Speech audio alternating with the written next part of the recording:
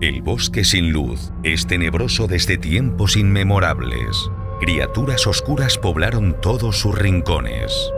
El único humano que ha sobrevivido la niñez ha sido descubierto y se ve obligado a huir a las profundidades del bosque. ¿Sobrevivirá?